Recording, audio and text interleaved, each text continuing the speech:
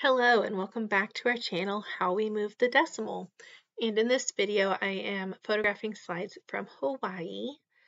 And with this, they're, I want to say in the 1960s, but you can see them at the end when I have digitally scanned some of them. I usually don't scan digitally scan all of them, but I do digitally scan some. It helps to make sure there's imperfections and to really see what's on the slide because I use a tracing board that I got from Amazon for like $14. I did not invest a lot into how I photograph the slides, but I do list them because, you know, you can't sell them if they're not listed. What I did with this is took all of a couple years, um, might do a whole decade, might do a whole year, depending amount on the amount of slides. But like I've said in previous videos, I have thousands of slides I have to go through, and the curiosity in me, the um, person that's always, you know, a busybody, I guess. Like if there's gossip, I want to know the gossip. Well, that part of me, I can't get rid of these without looking through it. I can't just say, lot of slides and sell them all. I need to see what's on them. It's just, it's a part of me. I need to do it. I need to see what's going on with the slides uh, before I let them go. Um, maybe I gatekeep too. So if it's like really crazy or maybe it's slightly inappropriate, I will pull those slides out. The this is still from the same estate sale where I went in and said I would buy all of the slides for $10 and I walked out with basically a wagon full of slides.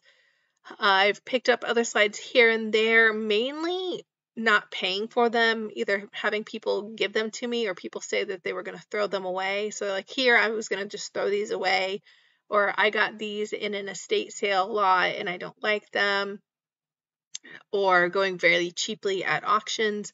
So that's usually how I get my hands on slides. I don't pay that much for them. They're long tail items. These are not quick flips. This is not heavy duty money money makers.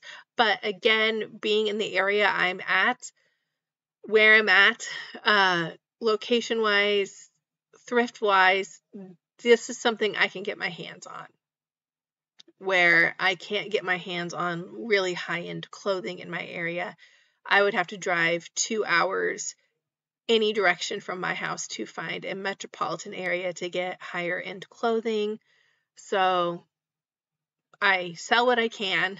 Um, I don't specialize. I know everyone's like niche down. It'll make you so much. It'll be so quick. You know, be so much quicker when you're listing. Uh, if you know your niche, you can shop and stuff better.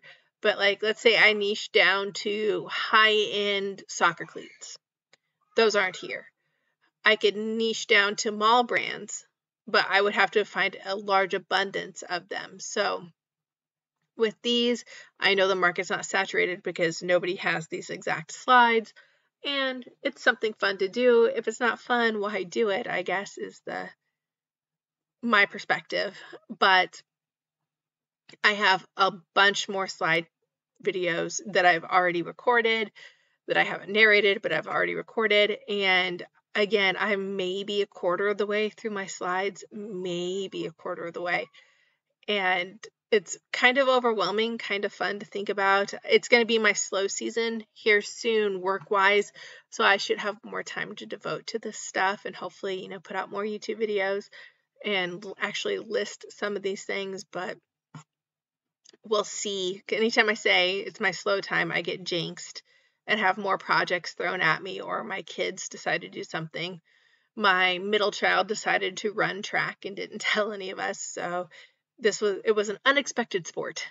And one of the reasons we have this channel, how we move the decimal, is talking about, you know, how do we prepare for those unexpected expenses, uh, like my van engine crapping out and having to buy a new engine because cars are psychotic right now. And if I was a true YouTuber or reseller, I guess I would go buy a Tesla, but that's not in my future. And then picking up another sport, which luckily this sport is through our school district. So, and we have all of the like things required because of other sports. So it's this is like negligible. This cost is negligible to us because we already have athletic clothing because of other sports and basically any sport through our school district is free for us. There is no registration fee or anything like that. So when my kids play soccer through the school district, it's free. When my kids um, do band and stuff, I mean, we still have to pay for the instruments but and the clothing to wear to concerts, but we don't have to pay for the actual band lessons, which is a godsend because instrument lessons are so expensive.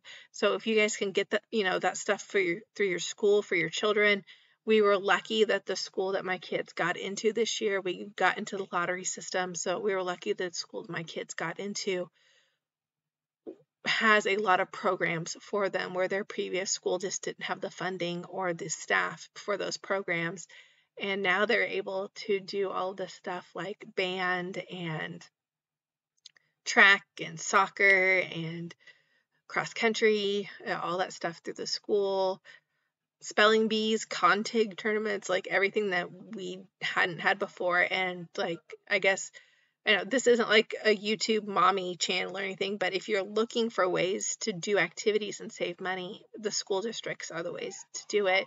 And sometimes they will help pay for things outside of the district if they don't offer it, which is really nice. The the amount of activities that are available to us after going to a larger school was quite I was quite pleased with. But um, I know some schools don't have that, especially rural schools. I grew up in a very rural school. There was 18 people in my graduating class, and our parents went to school together too. So, you know, I'm oh, Sorry, that was a popsicle emergency. But much like thrifting and everything I understand, there's certain availabilities in certain parts of the country and in certain towns. Like my mother still lives in a very small town. For her to thrift, she would have to spend money in gas to go to a thrift store. Because I know if I want to get higher end stuff or more stuff in bulk, I know I need to go to the bins. And our closest bins is two and a half hours away. So did I mention my kids were home today because it's a half day? I keep being interrupted and asked about things that need to be done. But what I was saying, because gas is so expensive right now as I'm recording this, where I live, gas is $4.59 per gallon. I filled up my van and it cost me $88 and I about cried. But because of the cost of gas and stuff, if I'm going to go to the bins, I have to make it worthwhile. I can't just buy a hundred pounds or 50 pounds. I'm going to have to literally fill my van, and this may be more than a one day. I can't just drive there in one day, spend a couple hours at the bins, and then drive back and make a whole day of it. This might be a weekend thing. Like it may be more cost effective for me to pay for a hotel room and use it as a tax write off than it will be for me to drive there. Yes, we can use gas as a write off too if we have a specific reason to go there, but for tax purposes, the hotel room may be a better write off than the gas. I would write both off, but then the gas to go back and forth and make it instead of, you know, once a month or something, it might be like once or twice a year instead because of the price of gas. I'm hoping it goes down because we have a lot of driving this summer to do because we are true Midwesterners and when we vacation, we drive there. And um, I was having a bit of a panic attack thinking how old my children are getting and how few vacations I have left. So we want to make the most of it. And by making the most of it, we are driving. And that costs a lot of money. Um, vacations are not, you know, they're not cheap we even making the vacation as cheap as possible with five people, it becomes expensive because you have to get specific sized hotel rooms and stuff that tend to cost more. So I hope you enjoyed this video and at the end you can see some of these slides converted to digital. I've seen a lot of change, been through a lot of pain. Some things are not the same as they were a year ago. But all will be okay. I move on each and every day. The past is where it stays Way back a year ago. I've changed for the better this time. I thought I would never I strive just to say I'm alright. And for the first time in a long time I'm alright. I've seen a lot of change Been through a lot of pain. Some things are not the same As they were a year ago but all will be okay. I move on each and every day The past is where it stays. Way back a year ago